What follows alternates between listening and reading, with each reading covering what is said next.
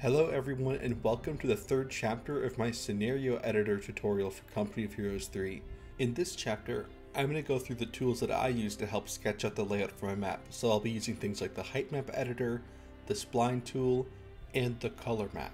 A brand new brush tool that lets you paint things directly on your map so you can sketch out roads, blockers, water, everything, but without having to get into using specific tools themselves.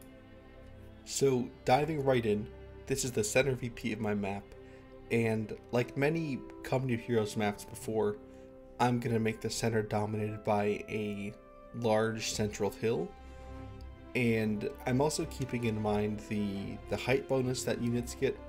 So I'm trying to give each layer of this hill I'm making a you know, I'm not trying to make them big enough so the the preceding layer can't fire down into two layers down and then get a get that height bonus that we we still are a little cautious about and we don't want to you know I don't want to be too overzealous with it. So I'm just using the set height tool here and I'm going down in two meter increments.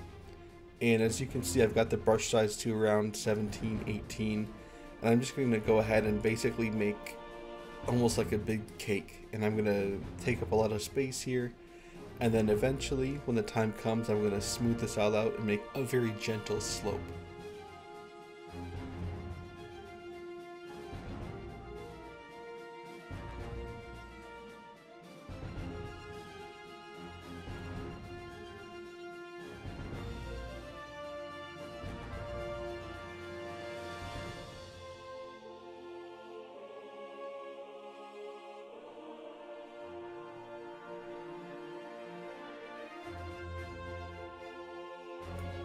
So as you can see here, I've got my central hill sorted out. I decided to up the height in the very summit of it because I'm going to kind of dig a bit of an entrenchment in there so the height's actually going to be reduced significantly. And I think when I smooth it out, the height bonus won't come into effect in it and it won't penalize players trying to take the summit of the hill. Next, I'm going to use the spline tool to create some outlines of defensive emplacements that I'm going to be fleshing out later. They'll also serve as guides for when I use the painting tool to put a little bit more detail into these sketches. And I'll walk you guys through that real quick. So as you can see, I've already got my strip component added to my spline. And for the next little while, I try to create some kind of perfect half oval shape and it doesn't really work out and I kind of I mean it works but I just end up you know the the precise numbers aren't that important. So after playing around with the spline for a little bit, I end up getting it to a shape where I think it's okay. And then eventually I will go onto my strip component and then I add a blueprint to it and I'm going to look for that dotted line splat texture, that dotted line texture that comes from CoH 1 or CoH 2 and it's in here somewhere. I just can't remember where. But it's a very good uh, dotted line for when you're planning things. Um, it's not as pronounced as kind of the the ones in the, the gray box folder with the different bright colors. But this is good for territory outlines, paths, etc. So I'm going to use this as the outline for my little kind of entrenchment oval. And again, I'm just going to tinker with this spline until I find the, the shape that I want. So I've got the shape I wanted, and what I decided to do is just duplicate it. So I hold C, I drag on the line here, press E to rotate it 180 degrees, well to activate the rotation, and then rotate it 180 degrees, bring it out here, figure it out, align it, and I'm good to go. I also use the ruler tool to help me figure out the kind of the spacing I want and, and how big I want this to be keep in mind that the standard uh, vision range and firing range of a unit is like 35 meters, so I just wanted to make sure that I wasn't making it too small or too large. And then here I'm just angling my my uh, oval here properly, and then I'm going to go and copy that and then put two more on either VP. So if you can imagine a uh, kind of front line of defenses running approximately in a straight line, but we're taking kind of a diagonal chunk of this front line of this defensive position, and that's going to be our battlefield. So the next thing I'm going to tackle is a very large anti-tank trench. So in this space, uh, in front of these defenses, there was an anti-tank trench in various stages of completeness based around the front line. So I'm going to use uh, uh, splines to draw these kind of short segments. And I'm just going to get a rough idea of where I'm placing them. And so later on, when I go to work out more details of the map flow, I'll I'll have some parts of it filled in. I'll have some parts of the trench I don't think not even there, um, just because construction, uh, it was never fully completed. So there were certain parts of the front line in this area that were supposed to be protected in this way, but just weren't. Uh, they didn't have everything 100% completed. So I'm trying to model that, and then also this is going to be. Uh, this setting is going to be after kind of the first uh, the first night of combat so we're going to see some parts of the trenches filled in, as well as many other, you know, battle scars and whatnot. As you all can see, I'm using the spline tool again, and this is because I want the possibility of turning these splines directly into deform components or even wall components. It would have been way faster to just sketch this out with the paint tool or even just use a dotted line to kind of find a path, but I wanted to give them a bit of thickness. They have some weight, kind of just as I'm looking at them. I also wanted them perfectly straight, so they're so they're very angular, and that uh, those those sharp angles were a feature historically of this uh, of this trench in, in some places.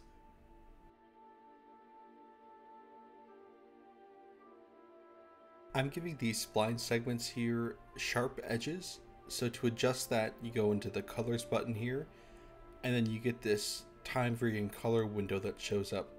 And all you've got to do is set the alpha on the ends to zero, sorry, to 255, and then you will have a very sharp edge at the end of your spline instead of a gradual fading away.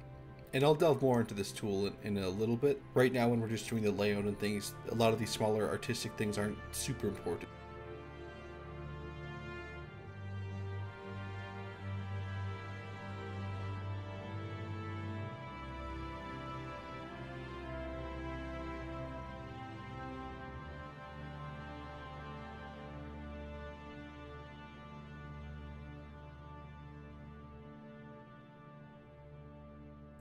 As you can see here, there's some weird visual artifacts going on here with the splines, and it is a bit annoying, but honestly, it's it's nothing to worry about. It isn't actually putting that texture over that space. So I just wanted to uh, let you all know ahead of time in case you're freaked out. Nothing to really worry about, and you can kind of get it to go away by moving your spline around a bit or readjusting the nodes, but it, it isn't really super important. You might want to try picking another texture, maybe using less splines overall. But yeah, like I said, not a big deal.